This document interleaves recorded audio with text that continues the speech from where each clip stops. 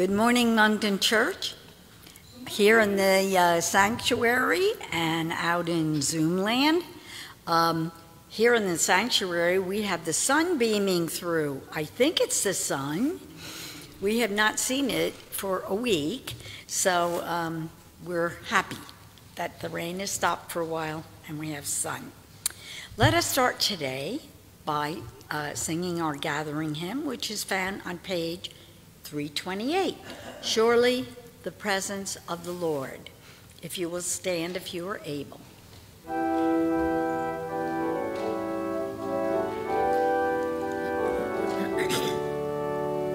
Surely the presence of the Lord is in this place.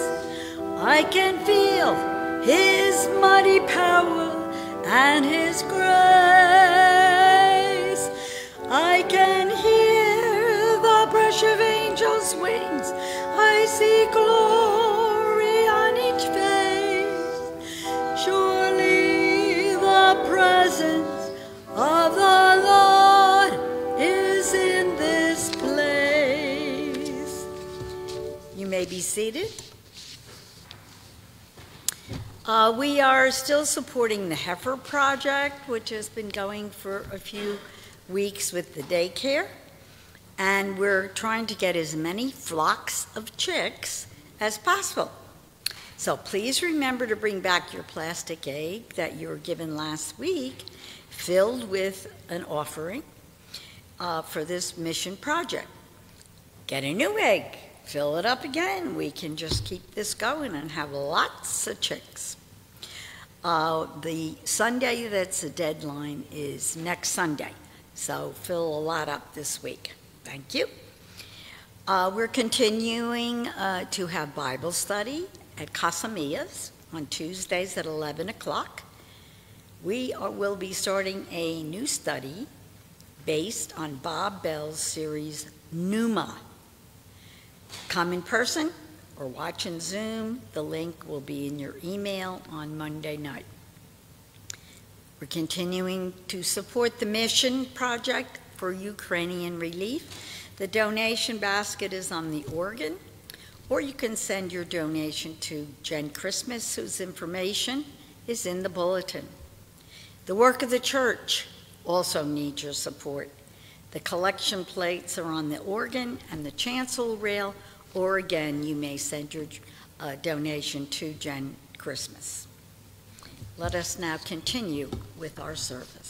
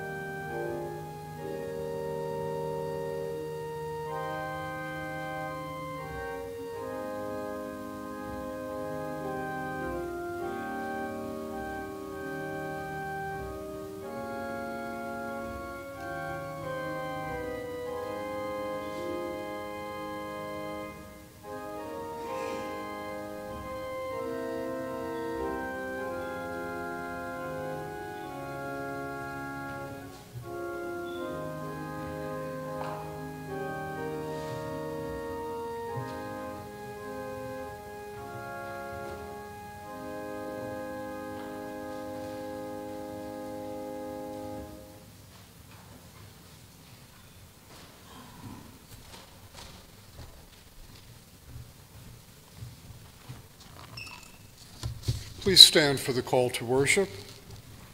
It's on page 850 of the hymnal.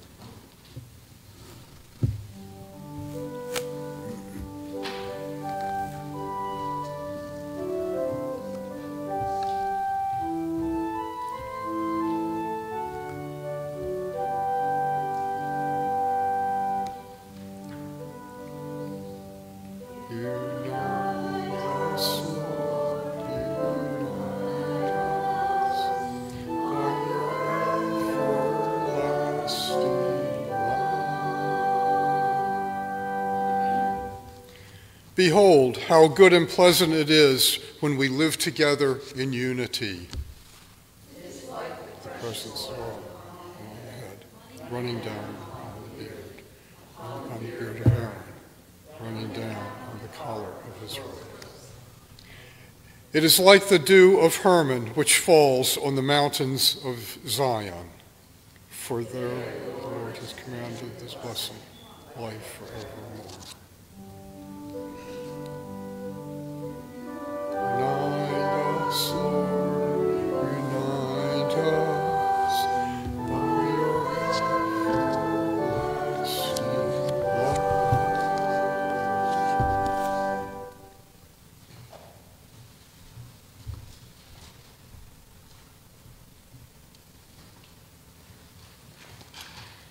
First hymn this morning is found on page 636. Christian people, raise your song. If you will remain standing, please.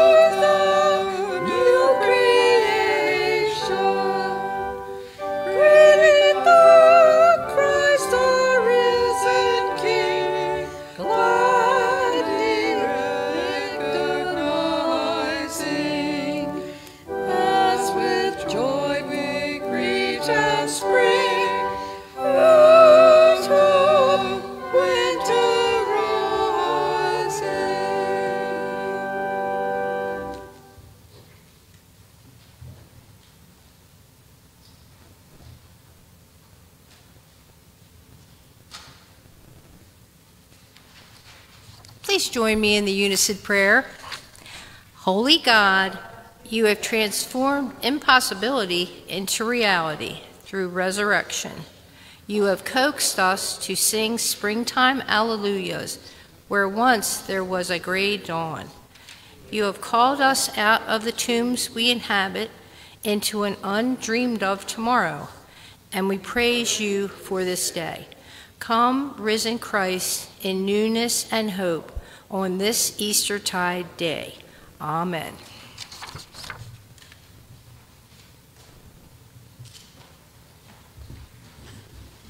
And you may be seated. Oh, you already are. Okay.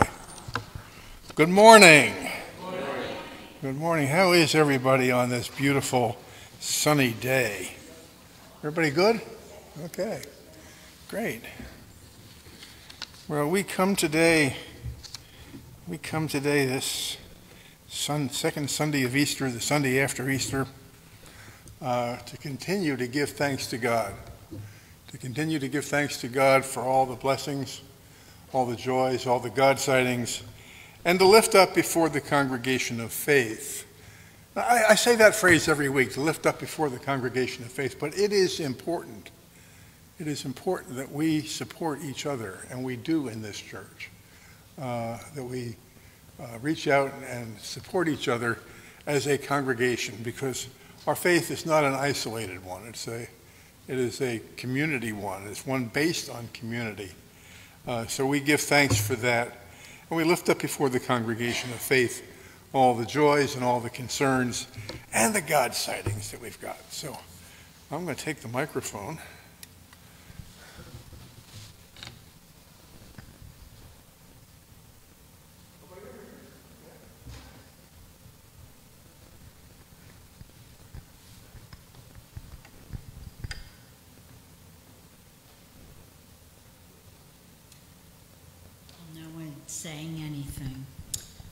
Anyway, I will tell you of a lovely, lovely service that we have every year, and every year it just seems um, more meaningful and poignant. But we have a day of remembrance, and each person who has passed away during the previous year is recognized individually, honored with a flower that a relative or friend or comes and puts in a vase. Um, our chorus sings three songs. Um, anyway, it is so touching and meaningful. And except for the singing, it is a Quaker, you know, service. they added us because we're so wonderful. But anyway, it was just a lovely, lovely thing. That's a blessing, yes. I just want to remind everyone to be careful during the sol- uh, solar solstice tomorrow. Eclipse, okay. One of those things where the sun is going to be shining bright and don't look at it without your glass, sunglass, special sunglasses. I, you can straighten that all out. Yes, I just want to give thanks for our church today because I don't know, it's the most horrible things can be going on at home sometimes. And then you come to church and you just feel so much joy about that God is really what matters and that we can, all of us feel kind of the same thing. And it's really a wonderful community. And it was just wonderful to have my brother-in-law and my sister with us this whole week. Everybody's home, everybody's feeling well, and it's just nice to have. It's a blessing, yes. Chris?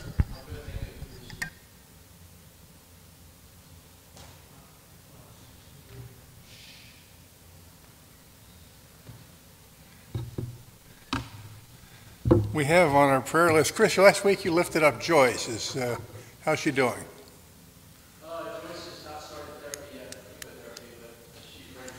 Okay, so, okay, so we'll keep Joyce in our prayers, yes, okay, okay. And um, Hap Kersey is continuing to face medical challenges. Alyssa, she, she had her surgery? Okay, okay, keep Alyssa in your prayers. Frank and Dolores, of course, and, and uh, the family and friends of Cooper Hughes, particularly Katie. Um, Tom? Hanging in, okay. Riza, Caroline, uh, Rachel, David, prayers rest for Bobby and for Pat White, Connor, for Brian, for Lyle and Carol, and for Mindy, uh, for Charlotte, of course, and for Linda, Penny, and prayers asked for Mike and Judy and Libby. Are there others? If not, then let us go to the Lord in prayer. Holy God, we come to you on this beautiful day to give you thanks for all the blessings, to give you thanks for the joys, and to lift up before the throne of your grace all of those who we have named here and those who we hold in our hearts. Be with each one. Let them know that you are God. Let them know that through you all things are possible. We ask this in the name of Jesus the Christ. Amen.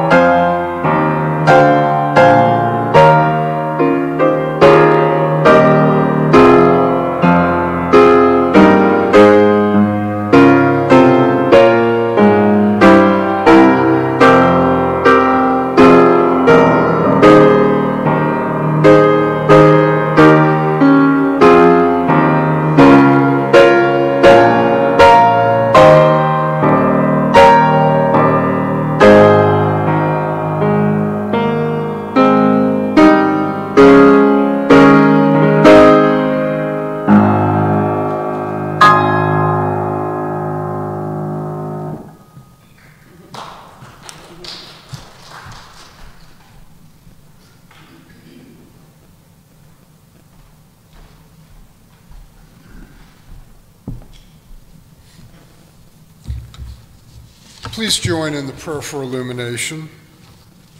May the words of our mouths and the meditations of our hearts be acceptable in your sight, O Lord, our strength and our Redeemer.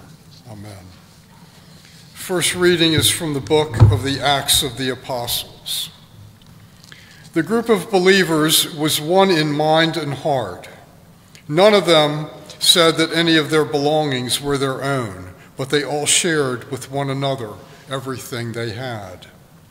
With great power, the apostles gave witness to the resurrection of the Lord Jesus, and God poured rich blessings on them all. There was no one in the group who was in need. Those who owned fields,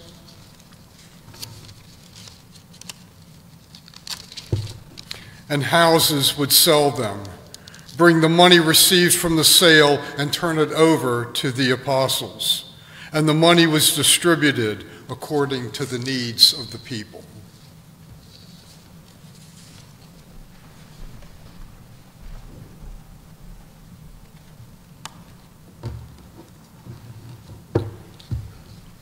The second reading is from 1 John 1, 1 through 2, second chapter, second verse.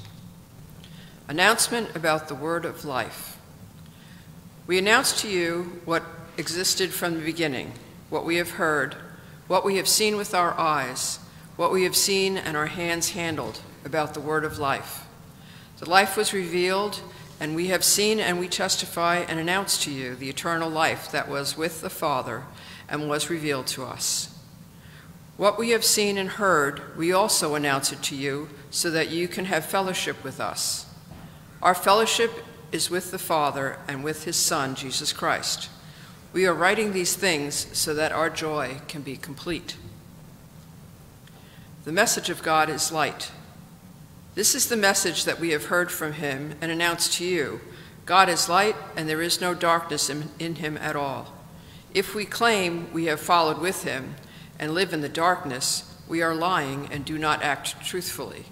But if we live in the light in the same way as he is in the light, we have fellowship with each other, and the blood of Jesus, his Son, cleanses us from every sin. If we claim we don't have any sin, we deceive ourselves, and the truth is not in us. But if we confess our sins, he is faithful and just to forgive us our sins and cleanse us from everything we've done wrong. If we claim we have never sinned, we make him a liar, and his word is not in us. My little children, I'm writing these things to you so that you don't sin. But if you do sin, we have an advocate in the Father, Jesus Christ, the righteous one.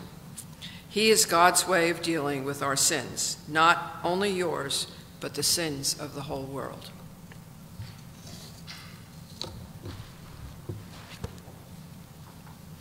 Our preparation is uh, Breathe on Me, Breath of God, page 420. If you will please stand. If you were able.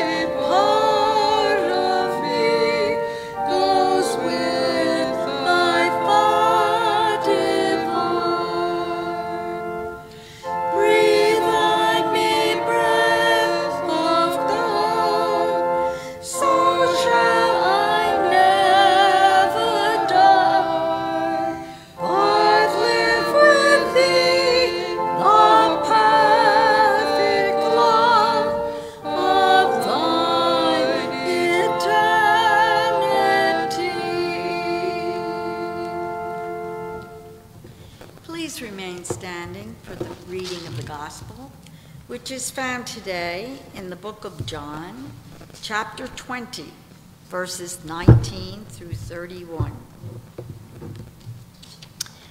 Jesus appears to the disciples. It was still the first day of the week. That evening, while the disciples were behind closed doors because they were afraid of the Jewish authorities, Jesus came and stood among them. He said, Peace be with you. After he said this, he showed them his hands and his side. When the disciples saw the Lord, they were filled with joy. Jesus said to them again, Peace be with you. As the Father sent me, so I am sending you. Then he breathed on them and said, Receive the Holy Spirit. If you forgive anyone's sins, they are forgiven. If you don't forgive them, they aren't forgiven. Thomas, the one called Didymus, one of the twelve, wasn't with the disciples when Jesus came. The other disciples told him, We've seen the Lord. But he replied, Unless I see the nail marks in his hands, put my finger in the wounds left by the nails, and put my hand into his side, I won't believe.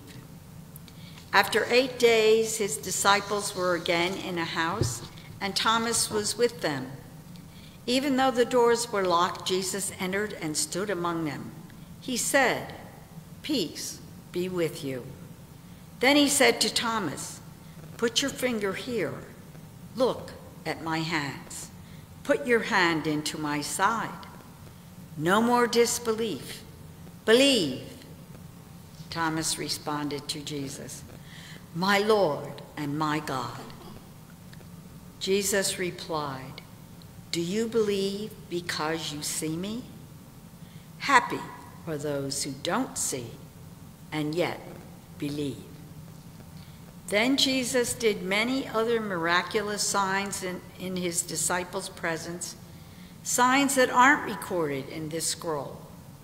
But these things are written so that you will believe that Jesus is the Christ, God's Son, and that believing you will have life in his name. This is the word of God for the people of God. Thanks be to God.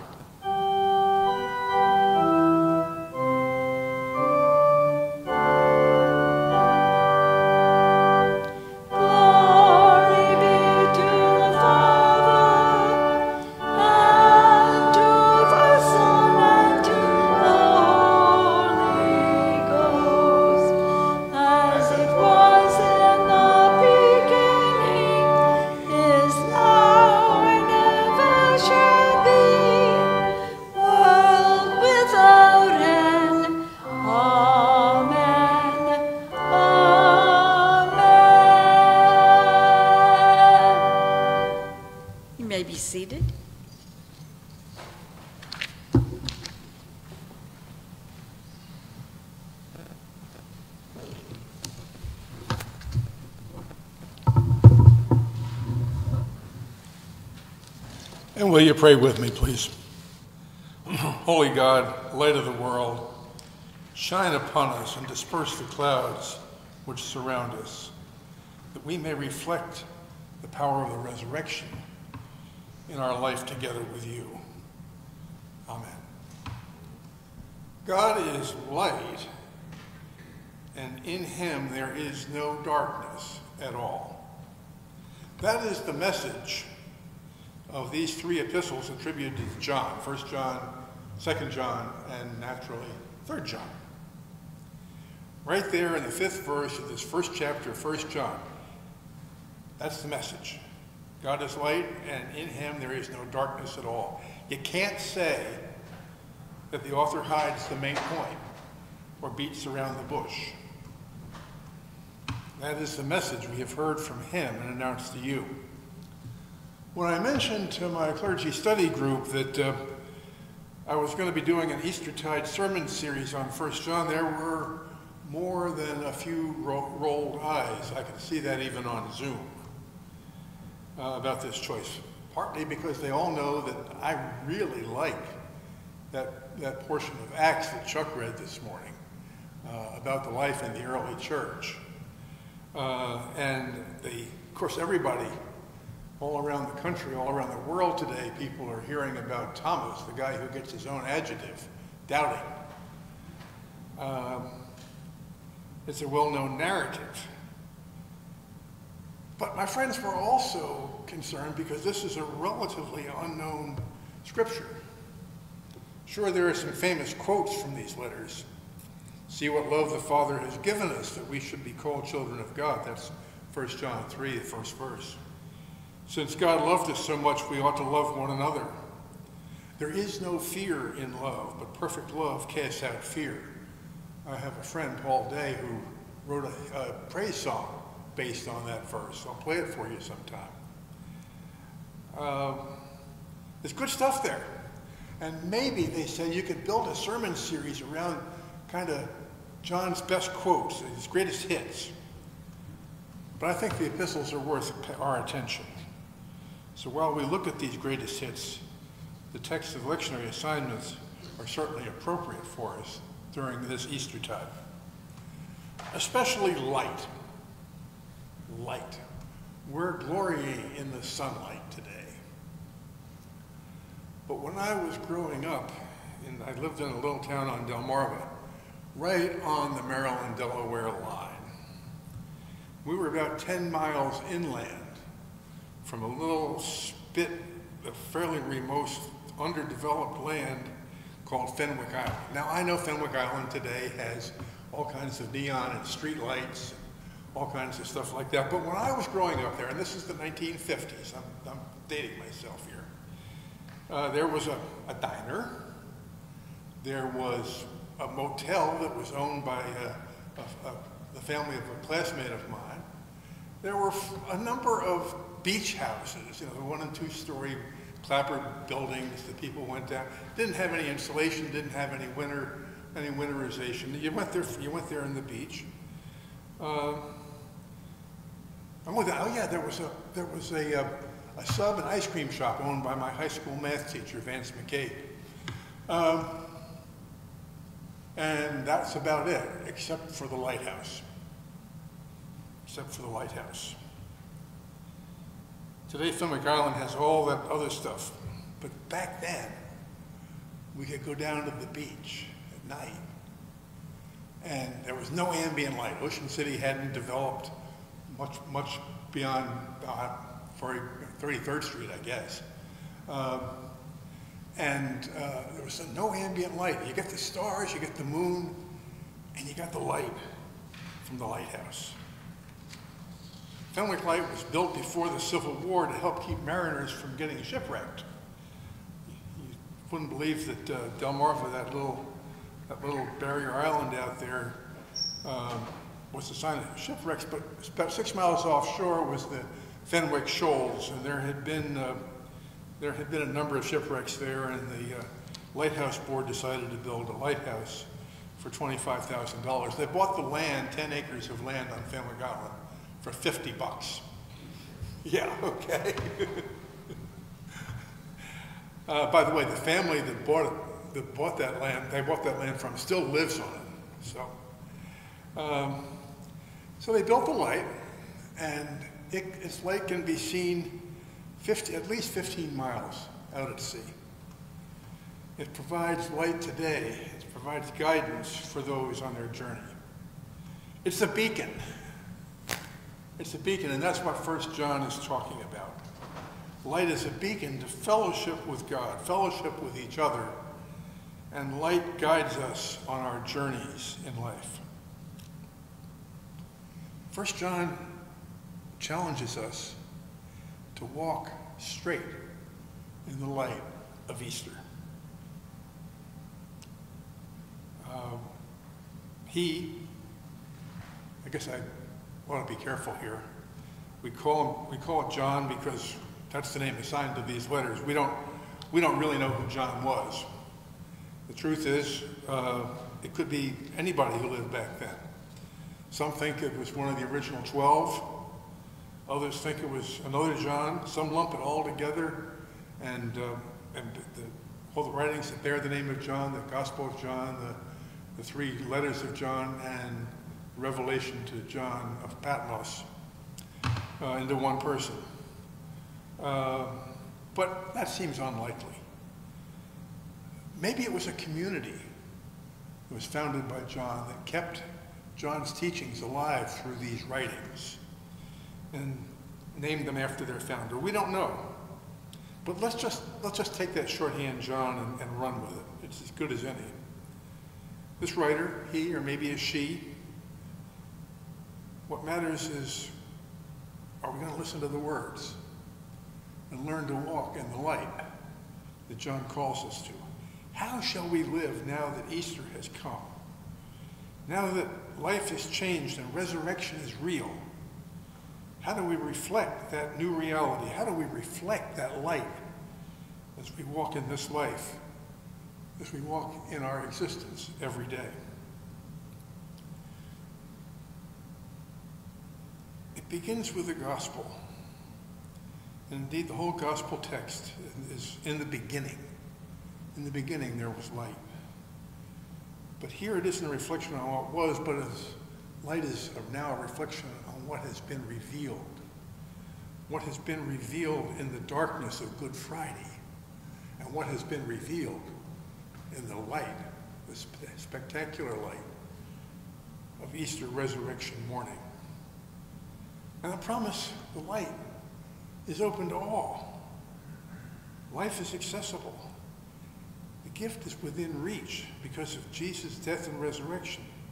And that's the new reality. That's the new reality. And in that reality, we are surrounded by joy. That's what the writer declares to us in these first few opening verses. That light, that joy, carries possibilities and it carries responsibilities. Possibilities include, remember what we have declared to you and what we, and what we ask you to carry on in, in declaring.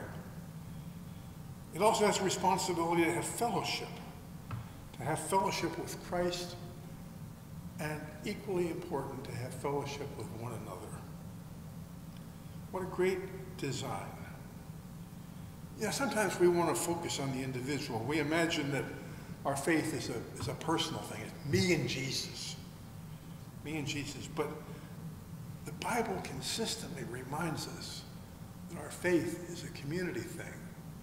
It's something not only supported in community, but is based in community. We're in this together. We support one another. We encourage one another. We disciple one another all along the way. We're not alone in this journey. We have fellowship with one another if we walk in the light. Pretty straightforward. Just walk in the light. We wish it was straightforward. It appears in many places. It appears in many places, but it challenges us. Because the text is asking not just about walking in the light, but what kind of footprint we leave when we do that. What kind of impact do we have on the world around us? The physical world, the human world. What example do we give? What do we, example do we give about how we are to live in this world? It isn't, like I said, just about you and Jesus. It's about you and the community of faith and the fellowship. And the community of faith includes the whole world. It isn't just a bonus for doing good work. Fellowship. Fellowship is at the heart of our faith. It's a sign, a signal that we are not left to navigate the journey alone, just like that, just like that uh, lighthouse board built that Fenwick light. They built that light to help people navigate and avoid shipwrecks. And the light, the light of Jesus, that beacon that Jesus shines forth, helps us navigate our faith. We're not left alone. We do it together in partnership with the whole community. We're part of a body. In the United Methodist Church, we call it the connectional system. We support one another, regardless, all around the country, all around the world. I have had opportunity to call a pastor who I didn't know in St. Augustine, Florida, and say, look, I got a parishioner whose granddaughter is down there and needs help. And that pastor reached out and help that kid from northern Baltimore County down in Florida. It's a connectional system that we work together. When we acknowledge that our choices and our, that our lifestyle impact people all around the world, all around the planet, we catch something of what living as one body, one body in Christ really means. That's where the joy is to be found.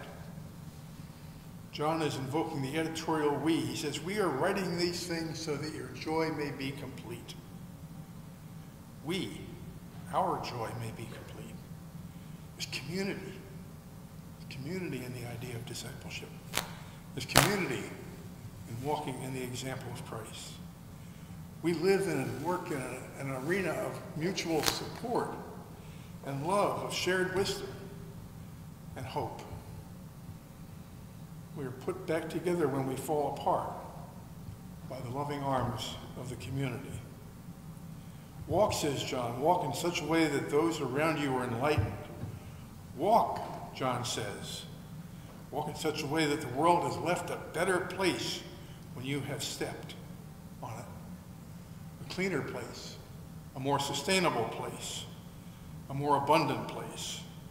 Walk, says John, because we are the people of the resurrection who know that death is not the final word, but the promise of life. What does it mean that God is light? What does it mean that does it mean that God is the opposite of darkness? Don't, don't make your answers complicated. What does it mean for you that God is light? Every single human being loves light. Even that light that Chris's watch is reflecting on my on my glasses right now. I love that light, Chris. You're enjoying the sunshine. I understand. I understand. Whew. Okay. Light is life. Light gives happiness. Light enables us to see clearly. Light is power. Light is the source of all life. A plant can't grow without life. Light.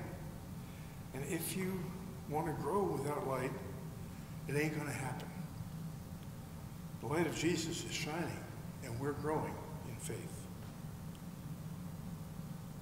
However, if the metaphor of light and darkness is helpful to illustrate God's action in our lives, revealing how it should be, Reverend Fernando Sanchez suggests the concepts of a lighthouse. That's where I came up with the idea to talk about my childhood time on the beach in Fenwick.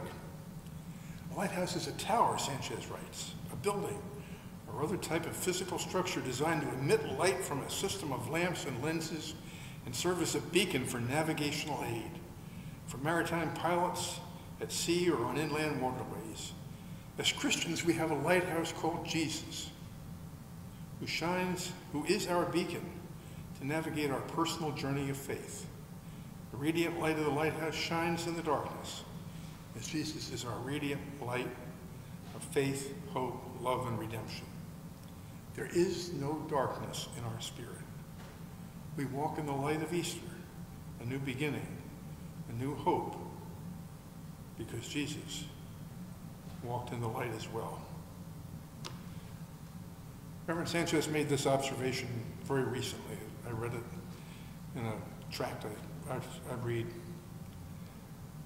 But it's not all that different than something the founder of the Methodist movement, John Wesley, wrote several centuries ago about this epistle of 1 John. He described it as a plain, how full, how plain, and how deep a compendium of genuine Christianity. It's interesting, isn't it? How the light of Easter never goes out of style. Thanks be to God.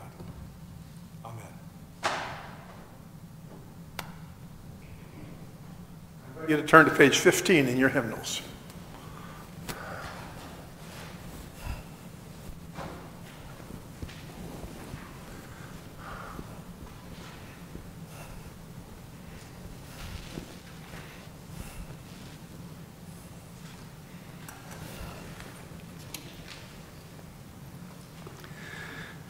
The Lord be with you. Lift up your hearts. Let us give thanks to the Lord our God.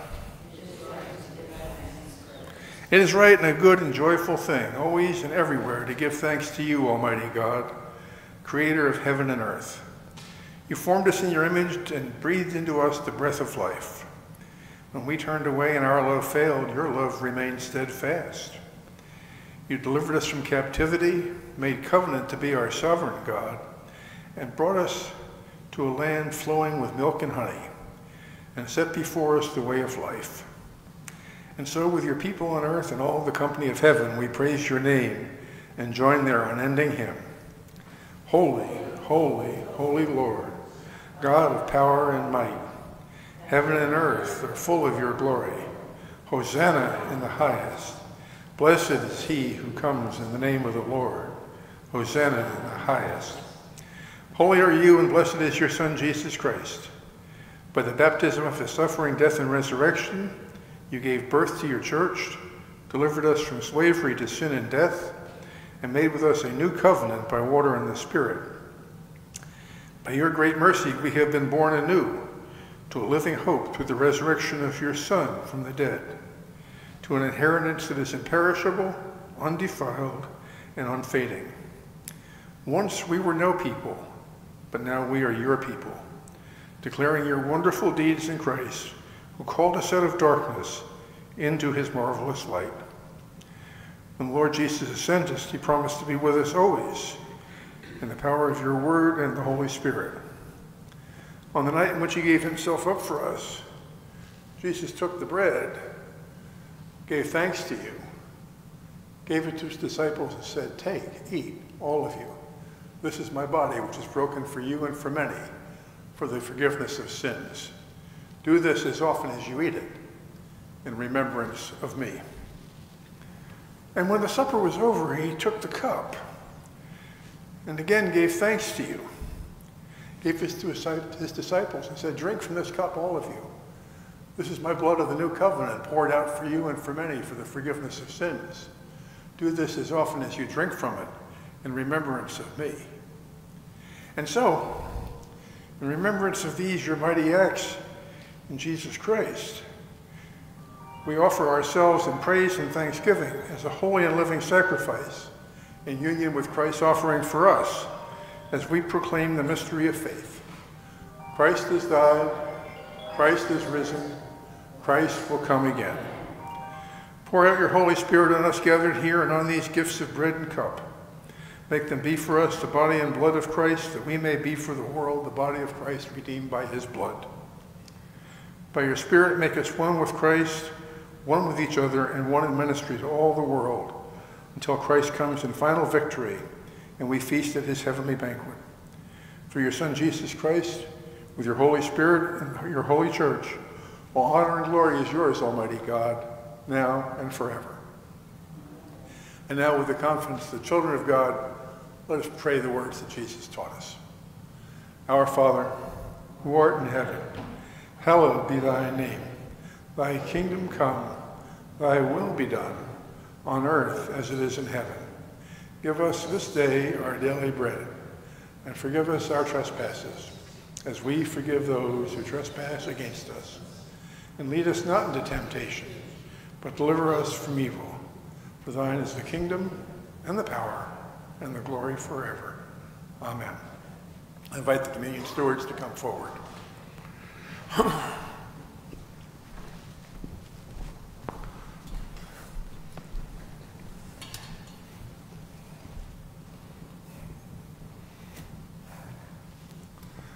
The table is prepared. Come.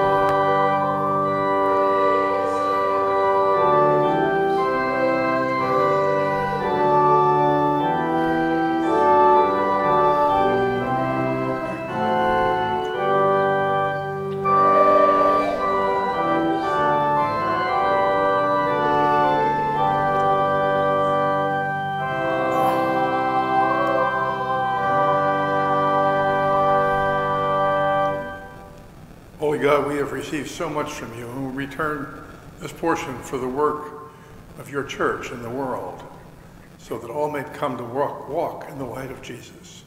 We make this offering boldly in his name. Amen.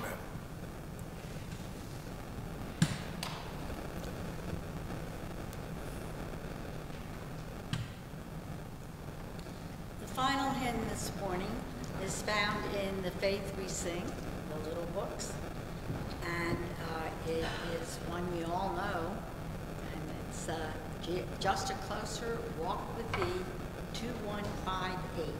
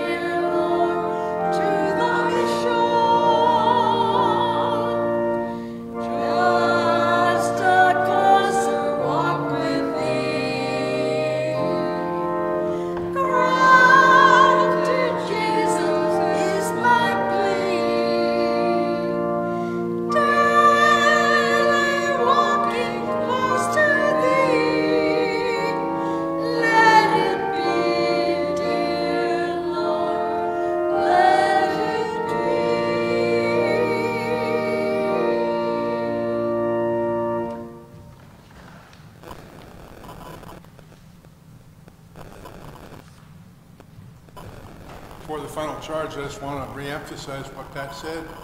Tomorrow there's going to be an eclipse, uh, sometime around 2 o'clock in our neighborhood. Don't look at it without the special glasses. Make sure you do that.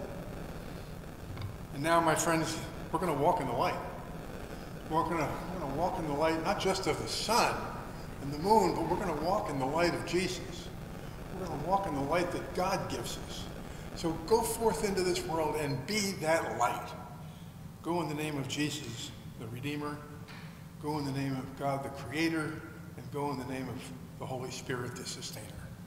Amen.